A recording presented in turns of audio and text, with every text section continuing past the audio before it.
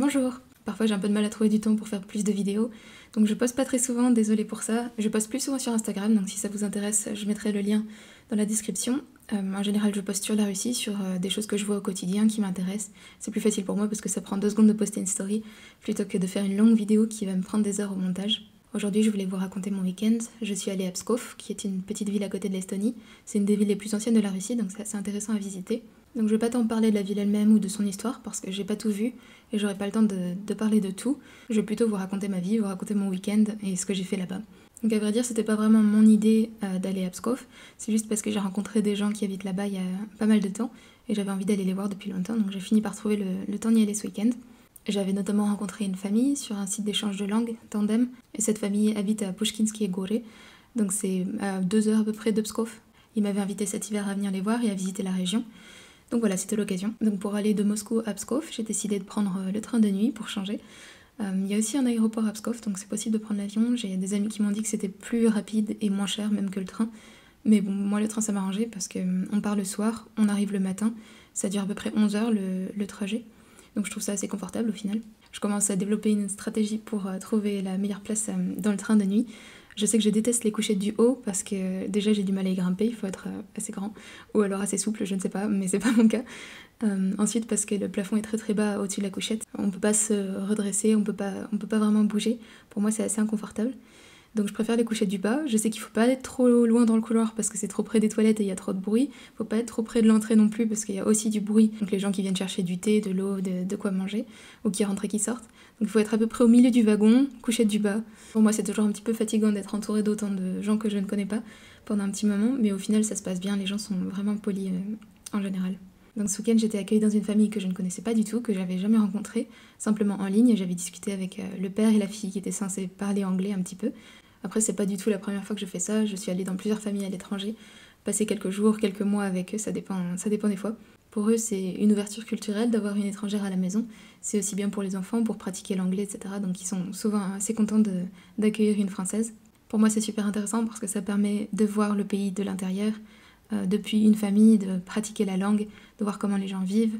Là, en plus, c'était vraiment une ambiance très différente de Moscou et des gens que je rencontre ici parce que c'était la campagne. Euh, le père est prêtre euh, orthodoxe, donc c'est une famille assez religieuse. Donc voilà, des gens que je ne rencontre pas tous les jours à Moscou. Après, les gens me demandent souvent, mais ça te fait pas peur de partir comme ça dans une famille que tu connais pas? Et non, euh, je pense que quand on a discuté pendant plusieurs mois, on se rend compte à peu près de chez qui on va. Après, ça me fait pas non plus peur de rencontrer des gens qui sont très différents de moi, qui ont des convictions différentes, etc. Même si on vit des vies très différentes, on a toujours des choses en commun ou des sujets sur lesquels on se retrouve. Donc voilà, ça s'est toujours bien passé pour moi d'aller dans des familles différentes. Donc là, en l'occurrence, en allant dans une famille russe euh, orthodoxe, il y avait beaucoup de choses que je comprenais pas très bien, ou en tout cas des choses qui font pas partie de ma vie, où je me retrouve pas forcément, euh, notamment la religion. Mais après, cette famille était vraiment très généreuse, très accueillante, donc forcément, je m'y suis sentie bien assez rapidement. Donc à Pskov, on est allé visiter le Kremlin, avec l'église de la Trinité au milieu. Euh, c'est très beau, c'est vraiment très intéressant à voir.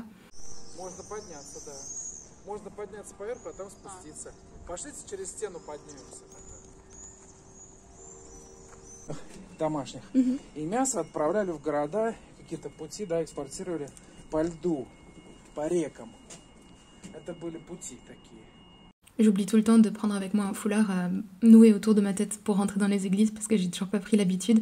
Mais c'est super important ici. Et si les femmes ne le font pas, elles risquent de se prendre euh, une remarque des petites grand-mères qui sont toujours partout dans les églises, en tout cas dans les églises moins touristiques où c'est vraiment important de respecter la tradition et, et de porter ce foulard.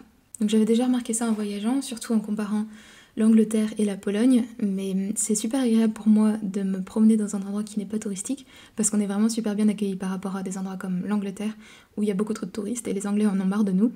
Donc euh, d'aller par exemple en Pologne, c'était vraiment une bonne expérience pour moi parce que toutes les familles étaient contentes de me voir, contentes de pouvoir pratiquer un petit peu d'anglais et puis de me faire visiter, d'avoir euh, quelqu'un de l'extérieur, euh, une étrangère qui vient les voir et qui s'intéresse à leur culture. Donc là c'était vraiment le cas à Pskov, pas beaucoup d'étrangers, pas beaucoup de, gens qui sont capables de parler anglais et les gens ont très peu d'occasions de, voir du monde d'ailleurs. Donc voilà, les gens étaient contents de me voir, j'ai le droit à beaucoup d'explications, des visites privées, c'était chouette. Donc Pskov est une ville intéressante de façon générale, c'est une ville très ancienne. Elle a été pas mal détruite pendant la dernière guerre, mais il y a encore beaucoup de vieilles maisons en bois, par exemple, qui sont très jolies. Il y a des vieilles forteresses, euh, un vieux mur d'enceinte qui entourait la ville autrefois, et pas mal de choses à voir. J'ai remarqué que dans les plus petites villes, la guerre est beaucoup plus présente qu'à Moscou, où j'ai tendance à l'oublier parce qu'on ne s'en rend vraiment pas compte. Par exemple, en arrivant à Pskov, il y a une femme qui est venue nous voir dans notre compartiment, dans le train, et qui s'est mise à pleurer, qui était vraiment très très émotionnelle, euh, qui s'est assise sur, notre, enfin, sur une des, des, couchettes, et puis qui a commencé à nous expliquer que dans son compartiment, il y avait un soldat qui revenait de la guerre, qui était blessé, il était avec des béquilles, et personne ne venait le chercher, donc elle s'est mise à pleurer pour qu'on l'aide à descendre ses sacs, et que quelqu'un l'accompagne jusqu'à chez lui. Aussi, en arrivant dans la ville, on est tombé sur euh, un enterrement militaire, avec pas mal de monde, tout le monde en, uniforme. Il y a pas mal de soldats dans la ville, puisque Pskov, c'est une ville militaire. Donc la, la, présence de la guerre, je trouve, est plus marquée qu'à Moscou. Une autre différence assez frappante avec Moscou, c'est les prix qui sont vraiment, vraiment réduits par rapport à Moscou. Moscou, je dirais que c'est des prix européens, des prix comme la France. Bon, après, c'est difficile à dire parce que le cours euh, change tellement, tellement rapidement que c'est difficile à dire sur le long terme. Mais euh, Pskov, c'est beaucoup moins cher que Moscou. Par exemple, pour un café, un cappuccino ou quelque chose comme ça, je payais 120 roubles, donc, euh, ou même 100 roubles. Aujourd'hui, ça fait 1 euro, 1 euro 20. Dans les cafés où je suis allée, des cafés moyens, vraiment standards, je devais payer dans les 500 roubles pour avoir une salade et un plat principal chaud. Donc ça fait 5 euros en fait. Quelque chose qui m'a étonné dans le sens positif à Pskov aussi, c'est qu'ils ont des routes qui sont dans un état à peu près normal, euh, en centre-ville en tout cas, alors que à chaque fois que je sors de Moscou, j'ai l'impression que c'est bon, c'est fini, il n'y a plus de routes normales, c'est des chemins en terre. Même en centre-ville, les routes sont vraiment pleines de nids de poules, c'est impossible de se déplacer confortablement. Par exemple, j'étais allée à Rizan il y a quelques mois, juste après une averse. Il y avait des endroits sur la route où il y avait 15 cm d'eau, il fallait nager pour traverser. C'était assez impressionnant.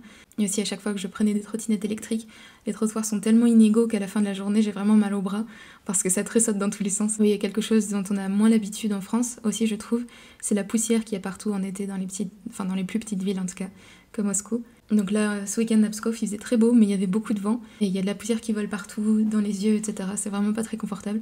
Pendant l'hiver, c'est de la boue partout, et pendant l'été, c'est de la poussière. Donc vu que j'étais dans une famille religieuse, le programme forcément était religieux en conséquence. Donc euh, on est allé d'abord visiter un monastère. Le premier monastère qu'on a visité, Snietagorsky, c'est un couvent qui est dans le nord de la ville, à côté de la rivière. Donc euh, on a rencontré une religieuse qui nous a fait visiter gentiment, une visite privée, j'ai de la chance. Cette fois-ci, par contre, il fallait non seulement que je garde un foulard sur la tête, mais aussi une jupe par-dessus mon pantalon. Parce qu'apparemment, un pantalon, c'est pas assez décent pour entrer dans un monastère. Donc bon, j'avais déjà vu ça ailleurs, quand euh, j'avais visité Kiev notamment. J'étais allée voir un monastère aussi, et c'était pareil, euh, je m'étais fait poursuivre par une petite religieuse à l'entrée parce que j'avais un pantalon et non pas une jupe. Donc j'ai déjà l'habitude.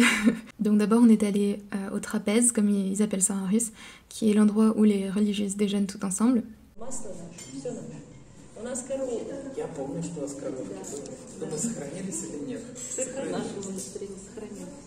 Donc comme tous les plats étaient vraiment 100% russes, j'en profite pour vous montrer un petit peu à quoi ça ressemble. C'était assez rustique, c'était des produits maison pour beaucoup, du beurre maison par exemple, du tvorog maison, on appelle ça du fromage cottage je pense en français, de la crème fraîche, smitana, euh, des pommes de terre, des fruits et légumes du jardin, du lait aussi de leur vache, mais pas de viande parce qu'apparemment les sœurs ne mangent pas de viande.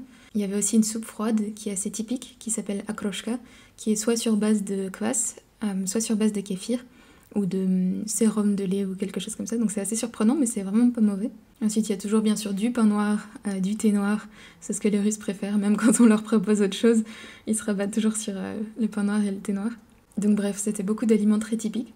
Après, c'est assez sévère dans un monastère, donc elles avaient droit euh, seulement qu'à une cuillère et un couteau aussi pour le, beurre, mais pas le droit, pas le droit à une fourchette. Euh, elles devaient aussi manger en silence pendant qu'il y avait une autre sœur qui faisait la lecture. Elles ont peut-être 15 euh, minutes pour manger. C'est le seul repas qui est servi de la journée. Et après, elles doivent manger ce qu'elles ont récupéré caché dans leur poche pendant le reste de la journée. Donc c'est un mode de vie assez sévère et assez strict. Donc ensuite, la sœur qui nous a accueillis nous a montré les fresques du monastère, qui sont des fresques plutôt célèbres à Pskov. Donc pour moi c'était intéressant parce que c'était une visite privée, juste pour notre petit groupe, la famille et moi. C'était en russe, mais la sœur faisait attention à ralentir pour moi et à me donner les dates, surtout très lentement, parce que j'ai vraiment du mal avec les dates en russe. Ils disent ça à toute vitesse et c'est des mots à n'en plus finir. Donc parfois je me mélange un petit peu, mais là elle était gentille, elle faisait attention à moi.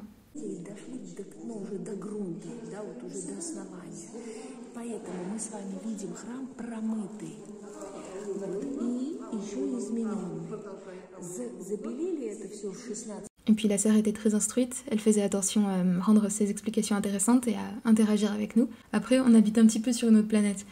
Donc moi j'habite à Moscou, euh, je travaille dans un laboratoire scientifique, je vis vraiment une vie différente de la leur. Et là, parfois, j'avais du mal à accrocher avec euh, tous les miracles qu'on nous a racontés. Une notion de bien et de mal qui est assez spéciale pour moi aussi, où les méchants sont toujours punis, mais on remet pas trop les choses en question.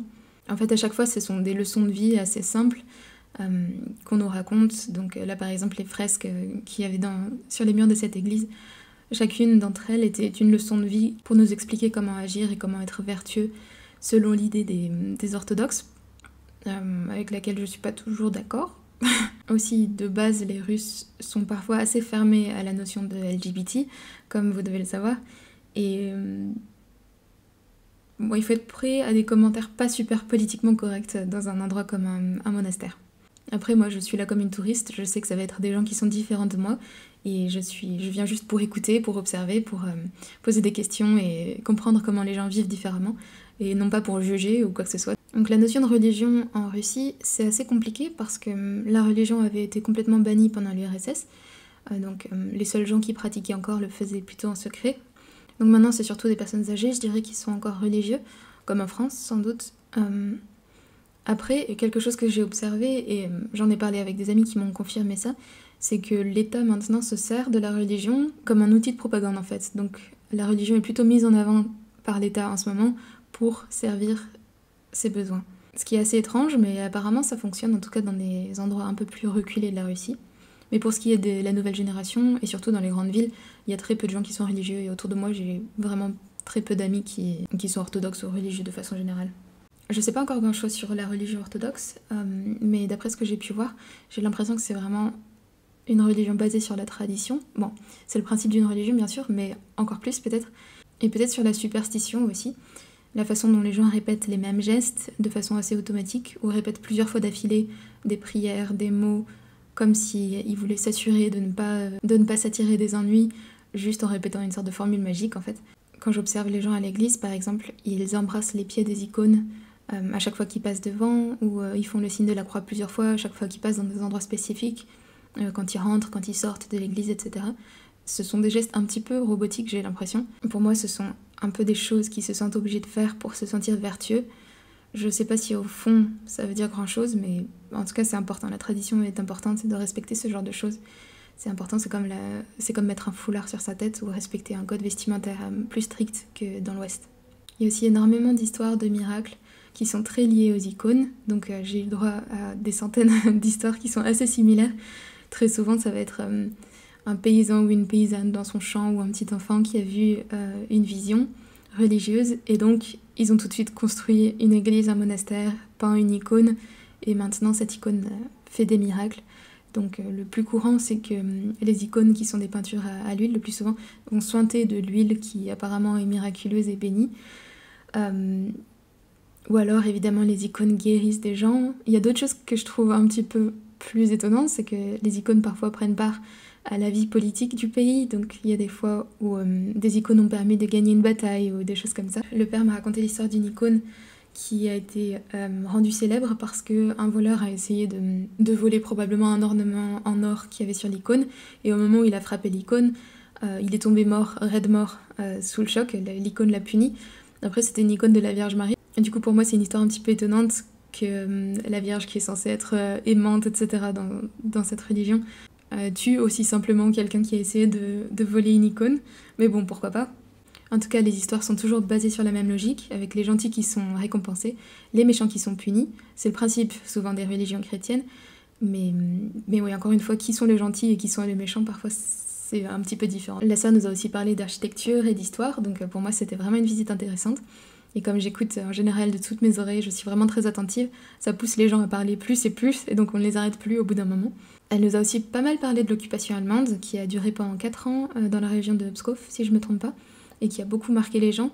Donc par exemple, les Allemands avaient fait sauter à l'époque la tour principale euh, dans l'enceinte du monastère, ils avaient récupéré pas mal d'œuvres d'art, euh, pas mal de tableaux qu'ils avaient importés en Allemagne. Il y en a certains qui ont été rendus apparemment, mais bon, l'occupation reste de façon générale un moment encore très présent, je trouve, dans l'esprit des gens à Pskov, et on en a beaucoup parlé pendant ce week-end.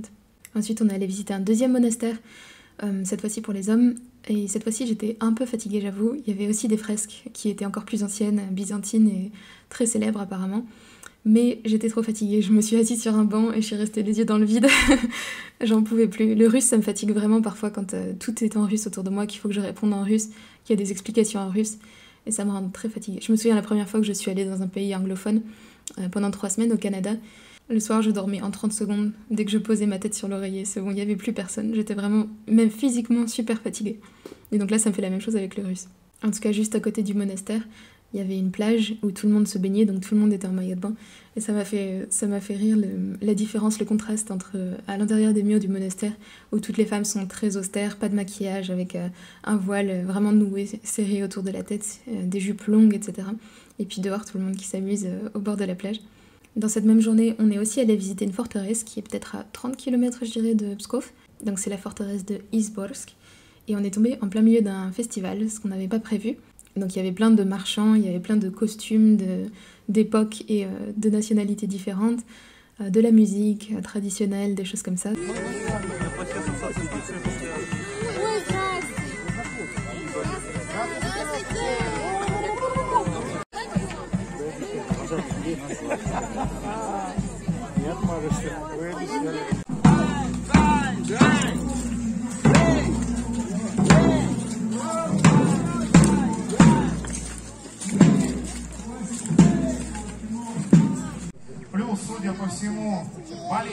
Они стреляют холостыми.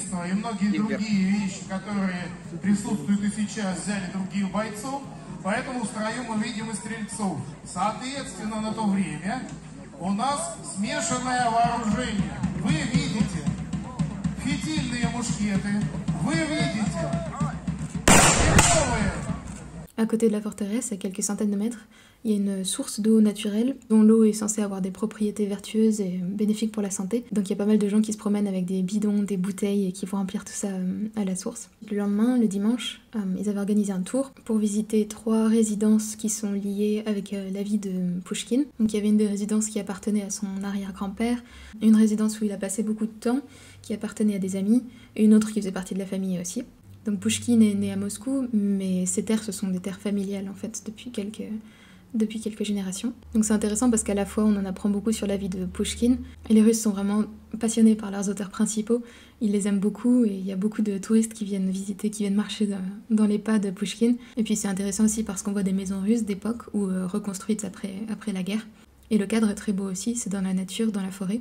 Donc la résidence la plus célèbre, euh, appartenait à l'arrière-grand-père de Pushkin Hannibal, peut-être que vous le savez, mais il était d'origine africaine. Et d'après l'histoire, c'était un prince africain en fait qui a été enlevé quand il était enfant et qui a été donné à Pierre le Grand, qui l'a éduqué, qui l'a envoyé en France d'ailleurs pendant pas mal d'années pour qu'il fasse des études d'ingénierie notamment. Et donc ensuite il est rentré en Russie et il a reçu euh, cette résidence. Euh, je crois que c'est l'impératrice Elisabeth qui lui a donné. Ça sonne un peu comme un conte de fées, mais c'est vrai apparemment.